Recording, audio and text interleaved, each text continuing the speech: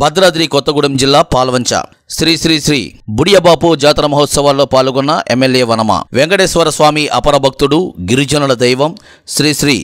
బుడియబాపు భోగ్ భండారో జాతర మహోత్సవాలను పాలవంచ మున్సిపాలిటీలో పరిధిలో పాలకొండయ్య తండాలో ఘనంగా నిర్వహించారు గురువారం నిర్వహించిన ఈ జాతర కార్యక్రమంలో ఎమ్మెల్యే వనమ వెంకటేశ్వరరావు పాల్గొని పూజలు చేశారు అనంతరం జరిగిన శ్రీ నారాయణ సాధు విగ్రహ ఆవిష్కరణలో కార్యక్రమంలో పాల్గొన్నారు